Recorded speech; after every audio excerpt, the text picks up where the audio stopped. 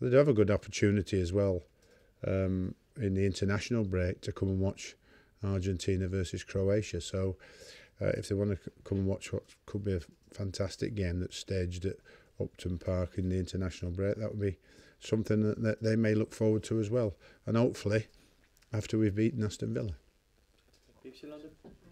Got that in well, didn't I? you want 10%?